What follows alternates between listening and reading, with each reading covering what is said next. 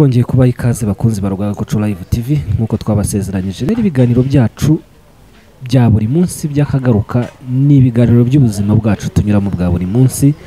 Nubwo bamwe bashobora kuba barya abandi bakaburara abandi bakaba baseka abandi bababaye mu by'ukuri ntabwo ariko bizahora. Ntabwo ariko bizahora kandi abategereza uwiteka bihanganye ni ukuri bazagororerwa. So rero tubahaye ikaze kuri Rwagakoco Live TV nk'ibisanzwe abari mu majyepfo amajyaruguru iburasirazuba n'iburengerazuba turabakunda cyane turabakengurukiye ku mugani w'abaturanyi b'abarundi mukomeze kugira amahoro y'imana. Ubushize rero hari umusore duherutse gukoresha interview bamwita waziye igihe uyu munsi murabona hari umusore uryamye hano ni ku isaa sita z'amanywa ni ku manywa ya rukamba.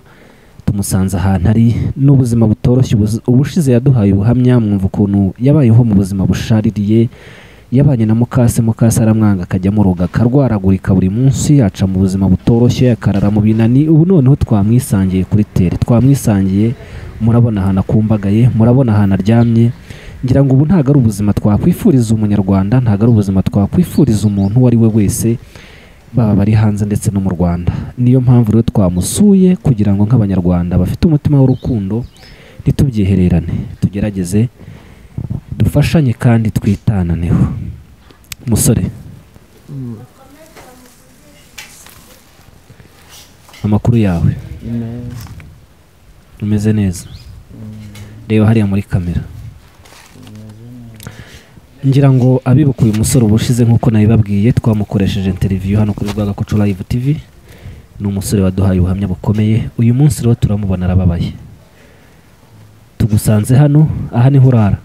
Ni ho nirarira ndaza naba nabonye icyo kurya Mm, ubwo nkaryama naba nta Mm. kibazo ubwo nkaza nkaryama hano mm, ubwo nabona bukeye nkabishimira imana mm, nkongera nkajya gushakisha ubwo naburirwa nkaza nkaryama nabona icyo kurya ubwo mm. nkarya ni gutyo ni bwo buzima mbayemo kuko nta kundi kuntu mbayeho. Mm. ese mbayeho mu buzima bubi cyane? Ubayeho mu buzima bubi cyane nk'uko bigaragara. Ubu ntabwo ari ubuzima twakwishimira ntabwo ari ubuzima twavuga ngo ni ubuzima ubayemo bwa birababaje. Birababaje ariko nta kundi niko bimera. Ushize waduhaga amagambo yo gukomeza yo kwihangana yigisha abantu. Uyu ni wa musore rero w'umuhanzi ni wa musore w'umuririmbyi uririmba hip hop injyana kabisa akaririmbo ukumva bigukoze ku mutima. Ariko uyu munsi murabona ubuzima abayemo ni ubuzima bu- butaryoshye habe na gato nk'uko twabivuze. Ari mu buzima bushaririye nk'umuravumba umubirizi yewe n'urusenda. Ntabwo biba byoroshye ariko ni ukuri imana izasubiza. Kandi impano yawe ufite ntabwo izapfa ubusa. Hari abantu bagifite umutima bahari hari abantu ba- biteguye gufasha isaha n'isaha. Cyane ko ntago wiba ngo ujye ku muhanda ujye kwiba bagukubite ntago ubomora amazu y'abaturage cyangwa se ngo uraze abantu ku nkeke ufite impano yawe kandi impano yawe izagutunga hari igihe izageraho imana ikwibuka igutunga inkoni. Hari abandi batangiye mu buzima nk'ubwawe bugoye ariko imana iza kubasubiza. So nk'ubu ngubu uheruka kurya ryari? Ubu turi ku wa kabiri. Mm. mperuka kurya ku cyumweru Eh, eh, eh, iminsi itatu. ejo bundi usibye umuntu wanguriye irindazi Mm. n'icyayi ni byo bintu mperuka. Mm. ubundi akazi narajyaga gushaka akazi nkakabura. Mm. mbese ubwo mwihangana nkapfa kuryama. Nta kintu mperuka kurya. Usibye amazi ninyweraga nkaryama. Ubu ni amazi unywa ukaza ugakumbagara hano. Ibintu bibabaje cyane. Ni ukuri muntu ukurikiye Rwagakoco Live TV icyo tugusaba kora subscribe usangize iyi video abandi bantu kugira ngo ubutumwa bw'uyu musore bugere kuri benshi. Ushobora kuba utaranyuze muri ubu buzima ariko hari benshi dukunze kugenda tubona hari abana dukunze gusanga ku mihanda aho bakunze kwita za marine hari abo dukunze kubona batagira iwabo birirwa bagenda bashaka amacumbi ariko ibyo ntabwo ari byo twifuza nk'u Rwanda rw'ejo ntabwo ari byo twifuza nk'abantu bifuza igihugu cyiza. Ntabwo umuntu yaryama ngo asinzire aryamye ahantu nk'aha ntabwo umuntu yaryama ngo asinzire ashobora kumara iminsi ibiri cyangwa itatu atarya. Ni ubuzima rero buba budakwiye ku kiremwa muntu ni ubuzima butari bwiza. So rero tugiye gukomeza tuganira n'uyu musore. Watubwiye ko ukomoka i burera ariko se ubona aho kugira ngo ukomeze kuba muri ubu buzima bushaririye nk'urusenda icyiza ntabwo washaka uburyo ukisubirira mu rugo? Mm, mbonye mbese nk'umuntu wantera n'inkunga nataha akanigera cyane ko ubu warakuze ubu ngubu niba ari mukase wakurogaga kera ukiri mutoya ubu ngubu ntabwo bukigira mukase aracyariho aracyari ubu ushobora kubana nawe aracyari ariko kubera nyine yakundaga kundoga byatumye nongera kuhatekereza umutima usubira mu rugo wakuvuyemo Mm. wamvuyemo ndavugagaho kugira ngo nzongere nsubireyo azandoga nyica ahubwo Mm. ese ntazagenda ariko ntazanambarire Mm.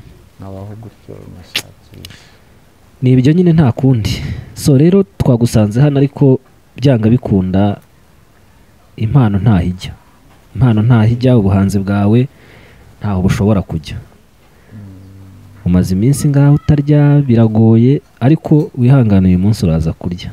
Uyu munsi uyu munsi urarya ntugire ikibazo. So rero ndagira ngo kugira ngo abadukurikiye muri aka kanya bataza kugira ngo turababeshya uyu ni wa musore ni umuhanzi afite indirimbo nyinshi nziza aririmba ukumva uranyuzwe ukumva uranezerewe. Ndagira ngo mm, utunyurizeho gatoya abadukurikiye muri aka kanya yes babashe kukwibuka babashe kumenya ko koko turi kumwe. Mu kubuka gakeya ufite gerageza turirimbireho gakeya.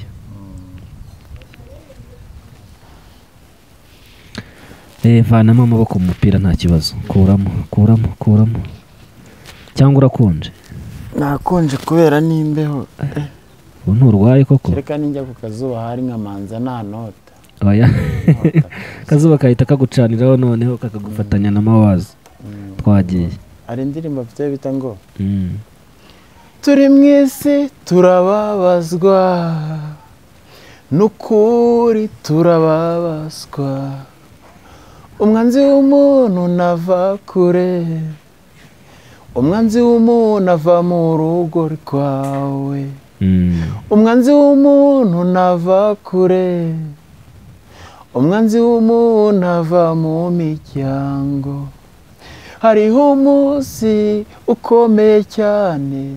Ibyo wishingikirije bigenda ubireba. Nta kindi uzaburana kuko imana yabiguhaye ukanga ukagomwa.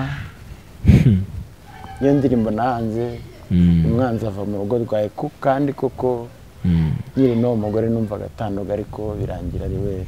Bivuze ngo iyo ndirimbo kuyihanga byaturutse kuri mukaso wakwanze ukiri mutoya. Eh, byaturutse kuri uwo mugore. Naricaraga nkigunga. Mm. mbese mu buzima bwanjye natangiye nigunga aho ndi Mm. hose. Mm. bitewe n'ubuzima nari mbayemo ntabwo nabagaho nishimye. Mbese nakuriye mu buzima bubi ndi umwana utisanzura mu bandi ngo ndagenda gutya mu bikundi by'abasore. N'ubu ngana gutya ntabwo nze kugenda mu bikundi by'abasore ahubwo nshaka gutuza muri njyewe Mm. sa nk'uhindukira agata amaguru yarenze hano urebe hariya nta kibazo. Bakurebe neza mu buzima bwanjye ndi Mm. umwana utakunze kujya mu bikundi by'abasore. Mm. uba ushaka kwituriza mbese. Mm. eh, niko navutse nta tabu unywa nta biyobyabwenge byibuze ngo ni- warananiranye ntacyo ndi umudivantisite umudivantiste. N'ijambo ry'imana. Niyo mpamvu twakunze kumbi kumvamo indirimbo za gospel. Ntabwo ibyo twari tubizi.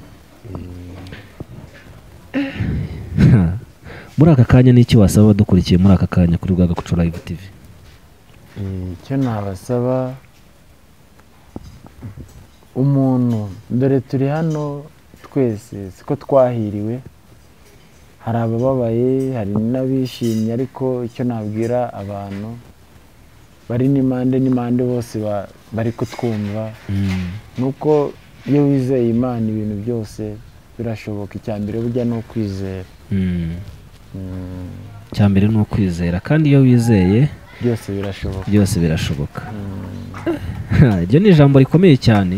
Ni ijambo rikomeye cyane eh, buri muntu wese aba akwiye kwigiraho. Mu magambo uvuga nakunze kuyumvamo ni amagambo y'ubwenge. Ese wiga wagarukiye mu wa kangahe? Niga nagarukiye mu wa kane. Mu wa kane pirimeri. Ha. Ntabwo byari byoroshye. Eh, mu wa kane pirimeri ubu ngubu uzi gusoma no kwandika. Gusoma no kwandika ndabizi. Mm. Mm. Wow, ibyo ni byiza.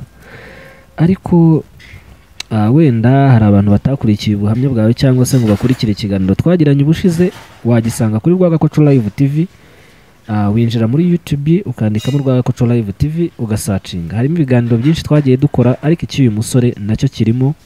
Wajyaho ukagikurikirana ukakireba. Twaganiriye byinshi yaturirimbiye indirimbo nyinshi zitandukanye. Afite ijwi wagira ngo ni King James. Mutamubona yicaye hano gutya araririmba ukagira ngo ni King James uri kuririmba. Wenda sinzi niba ari kubishobora ariko ntacyo aragerageza. Aragerageza kuko mu kanya tugiye kugenda twibeta ahantu. sibyo wazi. Eh, waziye igihe twatandukanye tuvuga ngo waziye igihe eh? mm, waziye igihe mm. babwire ngo ndacyariho ndahumeka. Ndacyariho ndahumeka ku bw'imana. Eh. imana ikora byose. Icya mbere ni ukwizera. Ibyo tubona twebwe bitashoboka Mm. tubyiragiza imana kandi imana ikabikora bigakunda. Kandi babwire ngo imana ihindura amateka ikoreye mu bantu. Kandi imana ihindura amateka ikoreye mu bantu. Eh, uyizeye wese iramuhindurira mm. ikamukura mu buzima buba arimo ikamwicaza ku yindi ntebe. Wow. Ibyo ni byiza cyane. So rero dukomeza gushimira abantu mwese mutwereka ko mudukurikira kuri rwagakoco live tv mugasangiza ibiganiro byacu bagenzi banyu n'inshuti zanyu turabakunda cyane pe. N'iki rero ndagira ngo mugisangize inshuti zanyu mugisangize abavandimwe kugira ngo bajye basha- babasha kudukurikira gatanu kuri gatanu. So ku bantu batabyibuka neza ubundi nk'uko twakomeje kugenda tubivuga wavuye iwanyu burera uraza uza i kigali mu buzima butoroshye ukajya urara mu binani n'ubu ngubu dore uracyahari tugusanze niba nahita kuki Hmm? wari waje kugama izuba munsi y'aka karabyo Mm.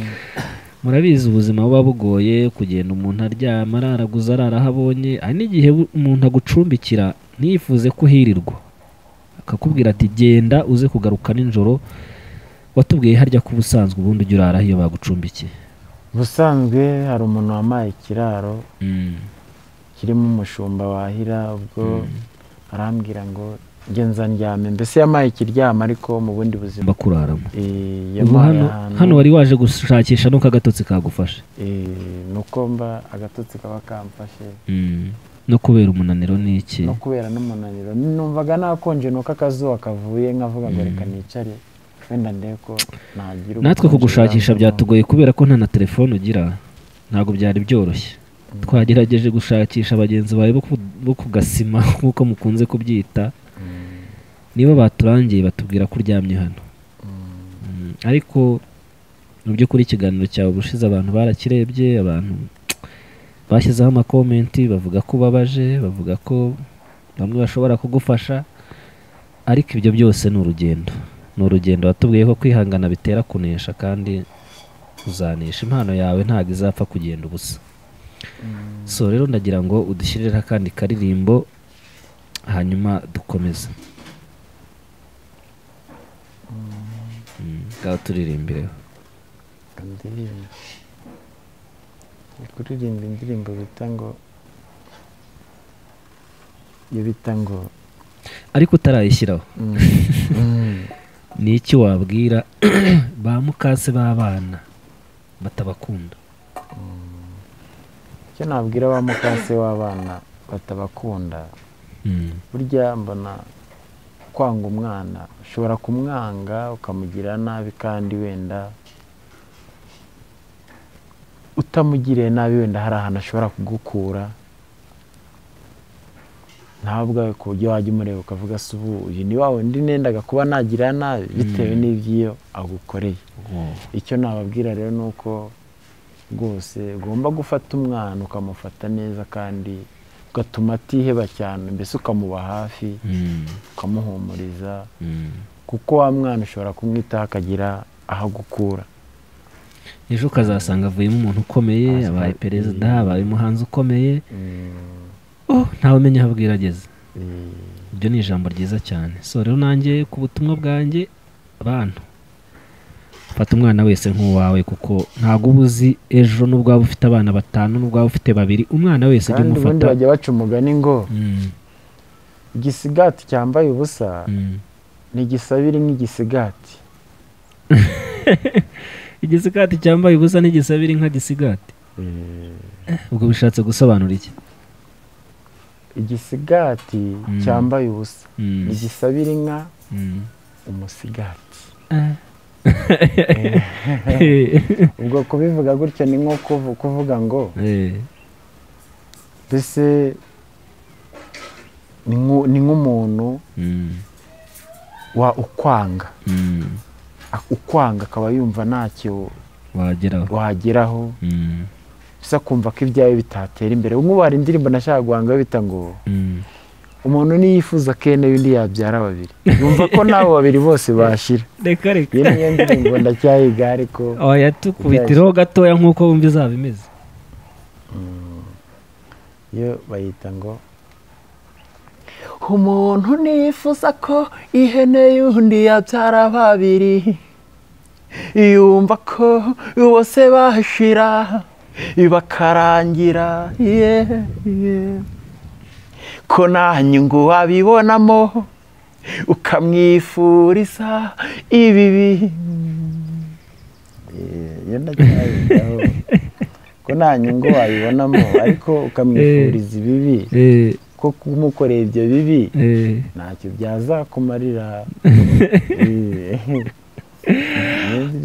reka nkubwire wazi reka tubanze tujye gushaka icyo kurya. Ibindi bize nyuma umva tuzakomeza kugenda tuganira tuzakomeza kugenda tugutumira mu biganiro byacu bya buri munsi kandi ni karibu twizeye ko hari ahantu imana izagukura ikagera aho ikugeza imana ikomeze ibane nawe.